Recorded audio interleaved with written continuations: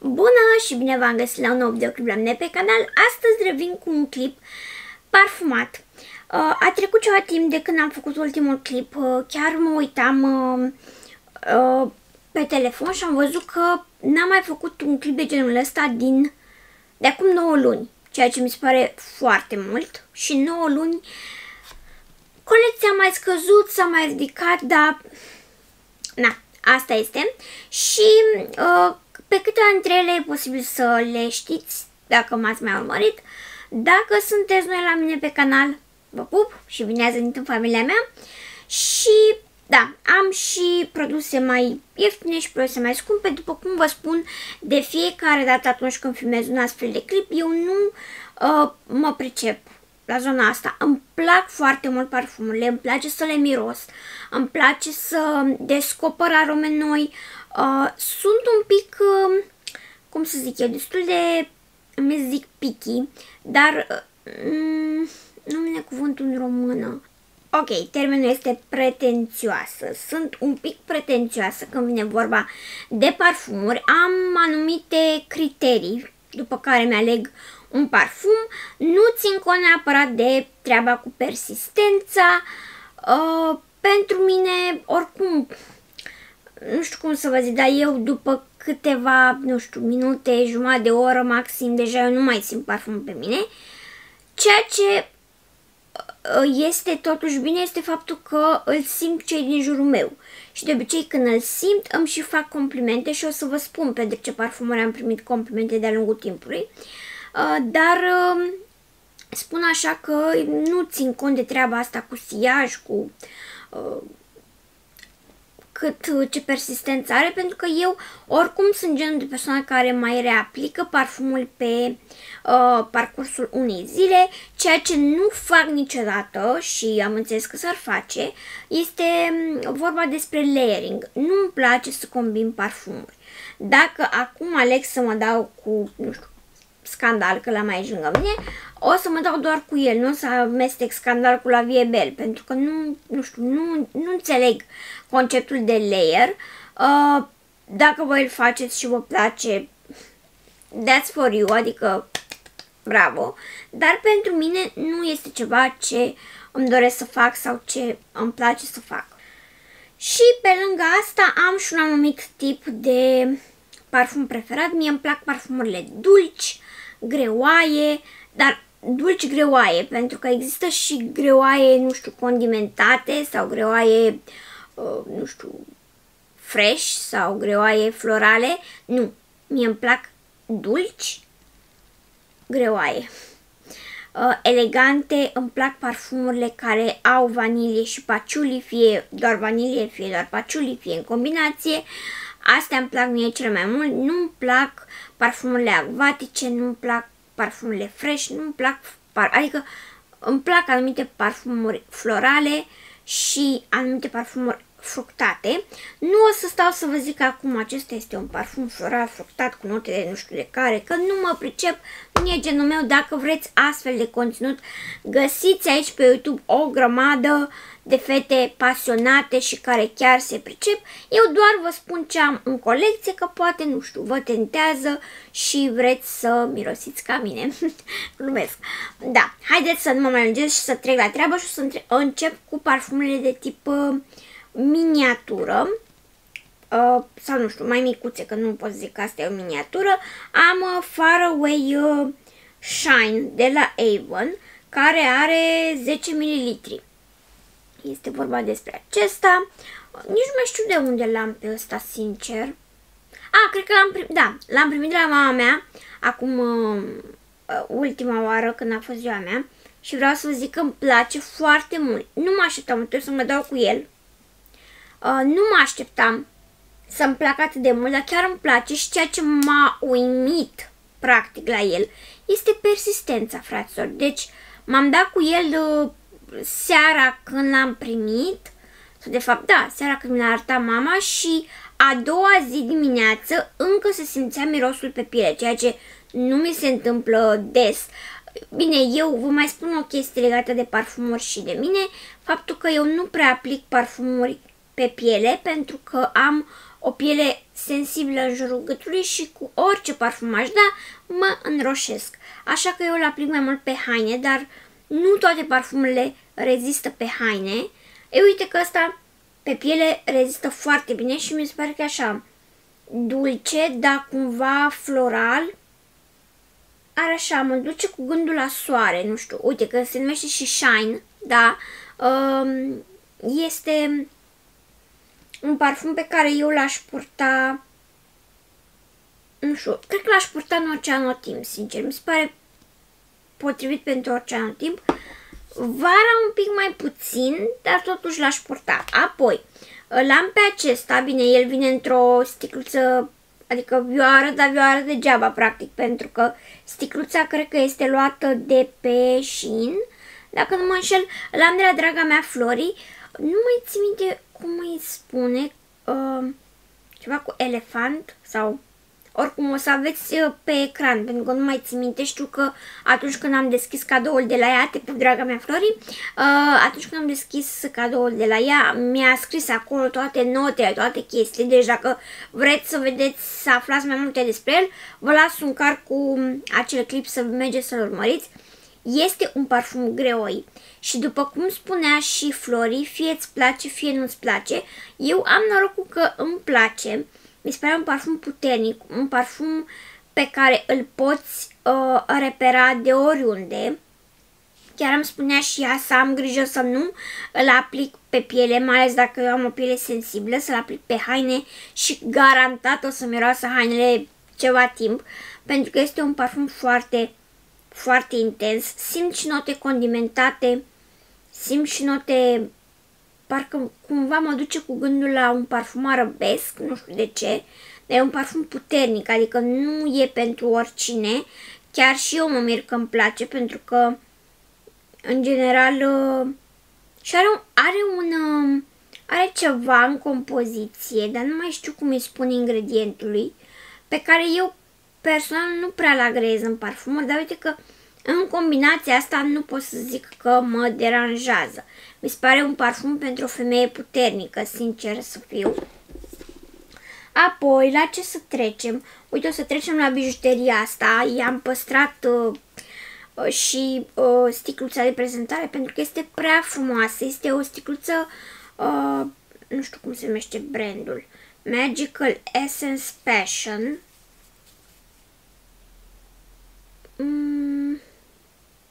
parfumlovers.com com. În fine, uite, asta este sticluța. Superbă prezentare, este cu Harry Potter, deci ce ai putea să-ți dorești mai multe, le avem aici pe, um, cum îi spune, e buvnița lui Harry, dar nu mai îmi vine acum aminte, așa, și uite, avem și în semnul uh, Hogwarts aici, și el vine așa și aici este practic parfumul, parfumul ca aspect mi se pare bijuterie, pur și simplu bijuterie. Aici avem catifea, deci nu știu, e, e ceva, e altceva. Ah, asta mi se pare potrivit mai mult pentru perioada de primăvară-vară. Mi se pare un parfum lejer, un parfum pe care îl poți purta, nu știu, de zi cu zi. Este un parfum de zi, un parfum uh, floral, aș spune eu. Uh, dar, nu știu, sticluța asta este ceva... N-ai cum. Deci, n-ai cum. Mai ales dacă sunteți uh, pasionate sau pasionați de uh, Harry Potter, n-are cum să nu vă placă. Apoi, um, uite, o să continui cu alte parfumuri de la ea, dacă tot am început așa. Și mai am pe acesta O de Juice. Uh, vi l-am mai arătat eu în trecut. Îl ador după ambalaj. El în sine, mie mi se pare că miroase a bacara ruj. Eu cu bacara ruj nu mă împac momentan. Știu că gusturile noastre se mai schimbă și din cauza asta și pur și simplu îl păstrez pentru aspect și îl păstrez pentru că e de la Flori, dar mie personal arom, mirosul lui nu nu-l pot agrea momentan. Pe mine, oricum, Bacara Ruj mă duce cu gândul la medicamente, la doctor. Uh, efectiv, când îl simt prin magazine, mă strâng, mă întorc, mă... Nu, să nu văd, dar el așa, ca aspect, arată delicios. Delicios. Așa, și tot de la Flori îl am pe acesta uh, Revolution uh, Timeless. Este o apă de toaletă. Îmi place foarte mult aspectul, că e așa tip marmorat, să zicem. Și ăsta îmi place la nebunie. Acum, pentru toamnă-iarnă, e ceea ce trebuie. Este un parfum super mega elegant. L-aș vedea, pen, deci pentru o persoană care, nu știu, nu e obișnuită să... Să cam un fir de păr. Pentru o persoană care nu este obișnuită cu parfumurile astea mai intense, l-aș vedea potrivit pentru seară. Eu n-am nicio problemă, îl pot purta zi-seară pentru că, doamne, ador cum miroase și abia aștept să îl scot așa în lume pentru că vreau să-l port mai mult. Îmi place foarte mult. V-am zis, este dulce, este puternic, este elegant. Apoi, tot de la Flori, am acest parfum. Uh, nu mai știu cum îi spune. Asta să vedem. Edison Ray Fragrance Happy as fuck. Ah, da. Ok, și este un parfum foarte interesant pentru că ați văzut că inițial sticla era mov-mov, doar că această sticlă în contact cu uh, căldura pielii își schimbă culoarea și din mov se transformă în roz. Foarte faină ideea, deci nu m-aș fi așteptat, nici, nici nu știam că există astfel de... Um, iar ca miros, mi se pare că este un floral desăvârșit. Îl văd foarte, foarte potrivit pentru perioada de primăvară-vară, mai ales pentru vară. Foarte bine miroase și uitați, interiorul este cu roz. Uh, foarte, foarte mult îmi place conceptul ăsta și nu știu, e, e ceva deosebit. Nu știu, chiar, chiar îmi place foarte mult. Și cred că am terminat cu parfumurile de la ea. Da, ok. Apoi, un parfum care îmi place foarte mult și care, pentru care chiar am primit complimente și lumea chiar m-a întrebat cu ce sunt date, este vorba despre Elizabeth Arden White Tea. Un parfum absolut superb. Vedeți că mai am foarte puțin aici pe fund. Doamne, deci pur și simplu îl ador. Știu că are uh, ceva portocale sau clementine în el. Mi se pare potrivit la fel pentru perioada de toamnă-iarnă. Și în general mie îmi plac parfumurile astea care sunt mai mult potrivite pentru toamnă-iarnă pentru că oricum nu țin cont și le port oricând. Dar pe asta trebuie să recunosc că vara nu prea l-am purtat. Uh, E un parfum elegant. A, deci nu, n-am cum să... Și un elegant curat, pentru că este white tea, nu știu, e foarte, foarte fain. Eu l-am primit de la cei de la Elizabeth Arden, care le mulțumesc la nebunie, îmi place și cu siguranță o să vreau să-l recumpăr pentru că îmi place foarte, foarte mult. Apoi, mai am un parfum, nu trebuie să îi fac prea multe uh, prezentări. Uh, nu... Ah, doamne. Da. Eu sunt mare fană la Viebel. Uh, prietena mea, Alina, cum draga mea, știe asta. Ea a fost în Turcia și uh, eu știu că Turcia este așa un uh, mix de... Uh, cum să zic eu, nou și fake. Uh, ăsta nu este un original, că ne-am dat seama împreună, dar uh, așa de fan uh, nu contează. Îmi place mirosul la la viebel. Ăsta pe care mi l-a luat ea nu este la fel de puternic și de, uh, cum să zic eu, rezistent precum acela.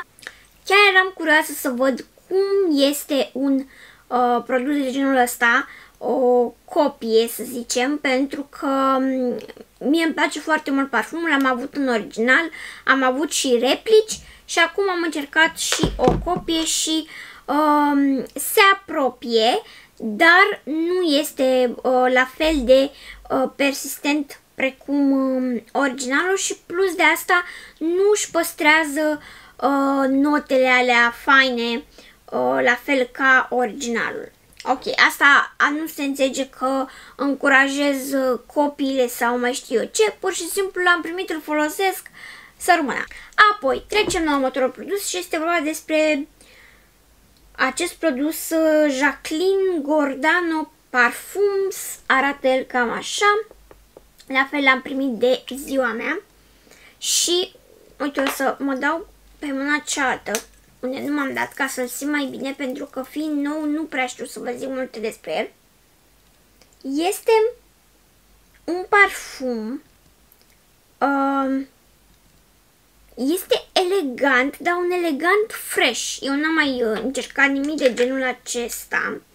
Uh, mă duce cu gândul un pic la parfumurile pe care le purtam eu cumva în adolescență. Inițial, când aplici, când pulverizezi acest produs, se pare că este un parfum destul de puternic, dar să știți că după ce se potolește, după ce îl lași un pic, uh, se transformă într-un parfum foarte firav, așa foarte finuț, foarte uh, cochet. Mm, mi se pare așa un parfum de domnișorică, să zic. Ok? Și ultimul pe care vreau să vi-l prezint este acesta scandal de la Jean Paul Gaultier. Nu știu dacă am pronunțat bine, dar mă rog. Este parfumul pe care l-am primit de la dragii mei verișori. Ana și Alex vă pup. Uh, arată el cam așa și vreau să vă zic că m-au nimerit cu parfumul ăsta foarte, foarte mult. Îmi place la nebunie, este dulce.